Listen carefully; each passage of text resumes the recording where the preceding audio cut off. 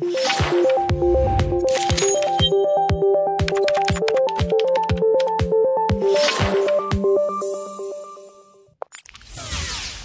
again everyone, and welcome back to Learn Linux TV.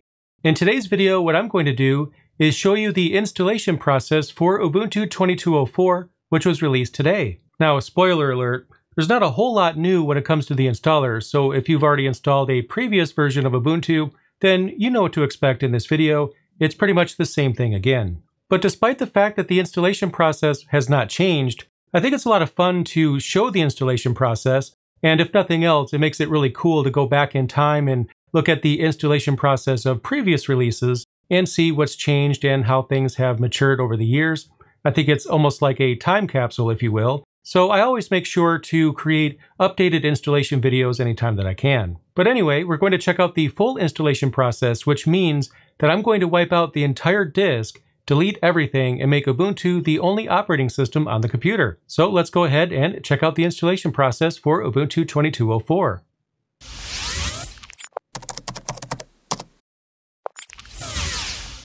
Alright, so here I am on my studio computer ready to install Ubuntu 2204. On my end, I went ahead and created bootable installation media for Ubuntu off camera, if you haven't already done that, then what I would recommend is you go to the official website for Ubuntu. You could download the ISO image from there, and I'll also have a link down below in the description that'll take you right to that site. And then you could use that download to create your bootable installation media. If you're not already aware of the process for creating bootable installation media, then I do have a video on my channel already that'll walk you through that process. So rather than repeating that here, you could check out that video. I will leave a card for that right about here and that video will walk you through the process. Anyway, what you're seeing on the screen right now is an actual Intel NUC, and if you didn't already know, on my channel, I always use real hardware for tutorials and reviews, unless I let you know otherwise.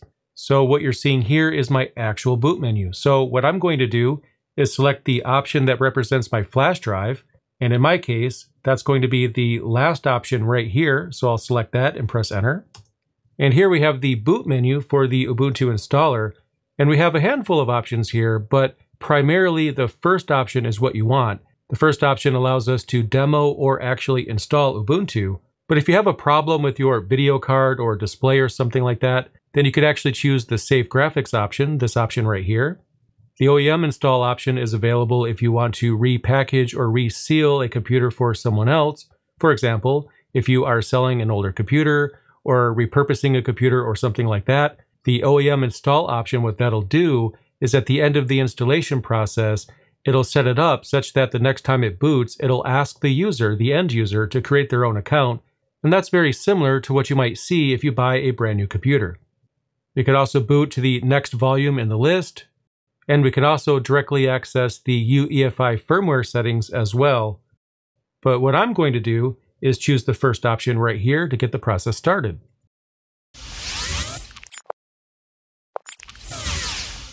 And right here, we have the very first screen for the Ubuntu installer, and it's ready to go.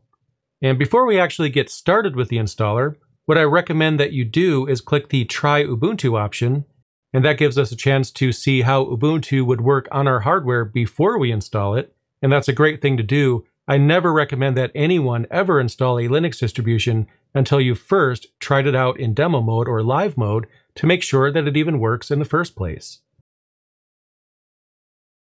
Anyway, at this point, we have the actual Ubuntu desktop that's fully usable, and like I mentioned, we could use live mode here to make sure that everything works.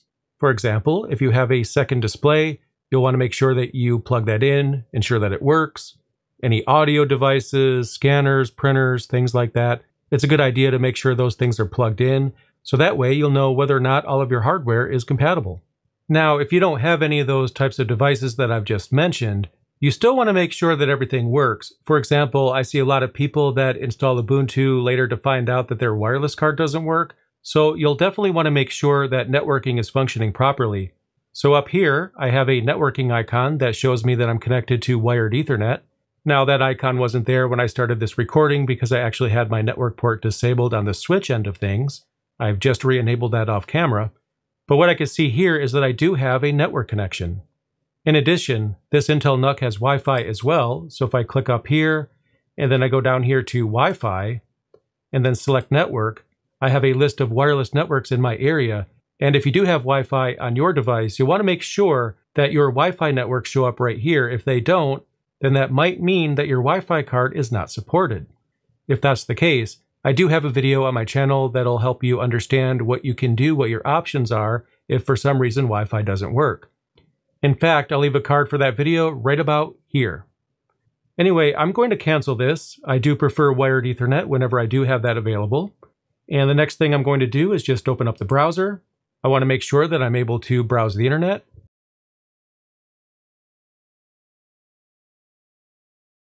And what I'll do is just go to a website. So right here, I'll just type in my own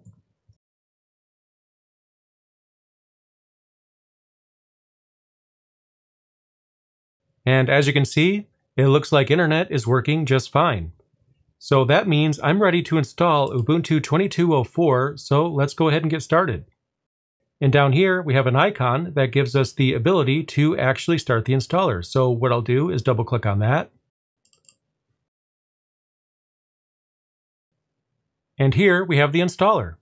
So the first screen gives us access to the release notes, which is pretty cool. And then we have a selection for languages here. So if your primary language is not the one that's highlighted, you could just go ahead and choose whichever language is your preferred language or your primary language here. And then once you've selected that, you could go here and click continue. Next up, the installer is giving us an option to customize our keyboard layout. In my case, it auto-detected my keyboard as being a English US keyboard, which is actually true. If your keyboard is something other than that, you can make your selection here. You could also type right here in this text box, and that'll give you an opportunity to test out your keyboard to make sure that everything is working. Anyway, let's click continue. Now on this screen, we do have a couple of very important choices to make. For example, what we could do is choose to have a normal installation, which is the default here, or a minimal installation. So with a normal installation, you're going to get pretty much every application that you might need by default, and that'll include basic apps like a web browser, office software, and others a minimal installation that includes just the web browser as well as some basic utilities. So that means your installation will be a little bit leaner if you were to go with the minimal option. Now, unless you have a very good reason to do that, for example, you might be an intermediate or advanced user and you know exactly which apps you want to install. In that case, you might choose minimal installation, but I'm going to leave it here on normal installation Next, we have a checkbox right here that gives us the opportunity to download some of the updates while Ubuntu installs, and I can't think of any reason not to do that. You might still have some updates after the fact. This won't install everything, but if nothing else, it'll give you a head start. This box right here for installing third-party graphics and Wi-Fi hardware, I recommend that everybody choose this right here and the reason for that is you might have some hardware that requires additional drivers, and if you do, then you have a better chance of getting support for that hardware by checking this box. Anyway, I've made my selections here, so I'll click Continue. On this screen, we could choose our installation type, and on my end, I already had Ubuntu 22.04 installed. I was actually getting ready for the review of Ubuntu 22.04, which is also being uploaded today along with this video. On your end, you might have a different operating system installed and a different set of options here. But what I want to do is actually erase my entire disk and make Ubuntu the only operating system. This will actually wipe out everything on my disk. So on your end, I would recommend that you back everything up if you haven't already done so. And we could go ahead and select this option right here. Now, in addition to taking over the disk, we have some advanced features right here that we can choose if we wish to do so. So if I click on that, we could use LVM, and we could also use ZFS. Now, for most of you, I don't really recommend ZFS. The footprint is a bit higher, so you'll notice that more of your memory is going to be used up. This is for professionals that actually need the features that ZFS provides. So in that case, I don't recommend that you choose this option unless you actually want to try out ZFS. I'm going to leave my selection on none, and then I'll click OK. And with that, we can actually begin the installation process. Now at this point, we've answered all the questions we need to get the installation process started, so I'll click Install Now. And then we get one last confirmation right here before our disk is completely wiped out. And that is what I want to do, so I'll click continue. And even though it's actually installing in the background right now, it's allowing us to multitask a bit. So what it's going to do is ask us some remaining questions, and it's going to do this while it installs in the background. Anyway, what I'll do is click right here. The whole point is to move this little circle close to your geographic location. That's going to set your time zone and things like that. So what I'm going to do is just move this dot over here to Michigan, which is where I'm at. Even though it says New York down here, we'll ignore that. I am actually in the same time zone as people in New York, so that should be fine. I'll click continue. And then here we could add information for the user account. So I'll just type in mine. And here we could actually name our computer. And this is for those of you that intend to use some sort of networking, for example, file sharing, because you definitely want to make sure that you can distinguish one computer from another. So we want to give this computer a name that we could definitely remember it by. I think in my case, JDesktop is more than fine. Then here we have the username, and this is going to default to your actual first name, whatever first name you type in the your name box at the top here. So for me, that should be fine. And then next we create a password for our user. You could choose whatever password you'd like, so you just go ahead and type in your password twice and you should be good to go. Next, we have an option to log in automatically which might be useful for those of you that are setting up something like a kiosk. But other than that, I wouldn't recommend choosing that option. It's probably a good idea to have some sort of protection from someone logging into your account. And we also have an option to connect to an Active Directory domain as well. That's beyond the scope of this particular video, but just know that this option does exist if you do need that in the future. Anyway, let's go ahead and continue.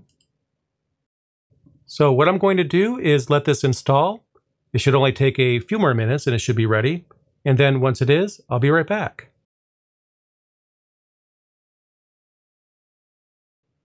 And it looks like the installation process is complete. So at this point, we can continue testing, just like it says here, or we could reboot into our new installation. And what I'm going to do is restart because, well, I am excited to check this out, so let's go ahead and do that. And just like it's telling me to do, I will remove the installation media, so that way it doesn't boot back into the installer again. So I've done that, and I'll press enter. And here we have the login screen. So I guess that means our installation was a complete success. So I'll click on my username, and then I'll type in my password.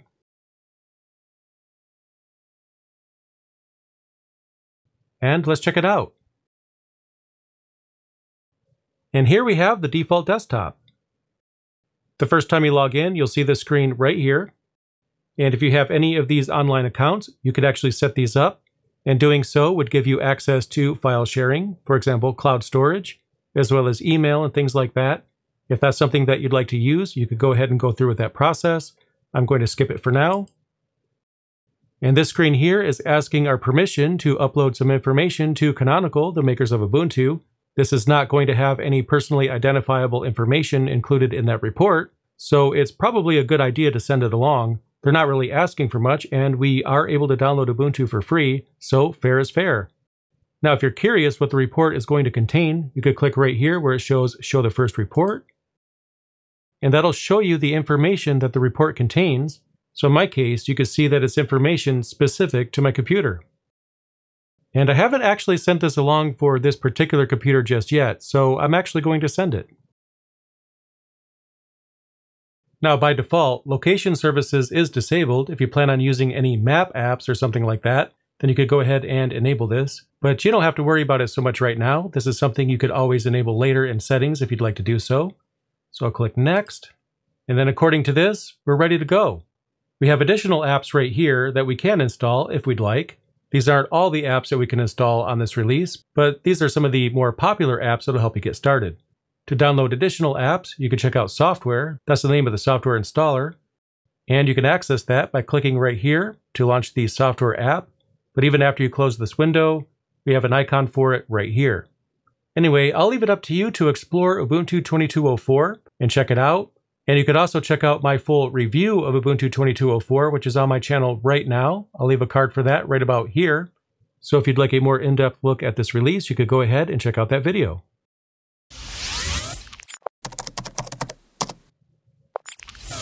So there you go. In this video, I walked you guys through the full installation procedure for Ubuntu 2204 and I hope it was helpful. If it was helpful and you did like this video, then please consider clicking that like button. That would really help me out. Also, be sure to check out my full review for Ubuntu 2204, which is actually on my channel, well, right now. Anyway, thank you guys so much for watching. I really appreciate it, and I'll see you in the next video.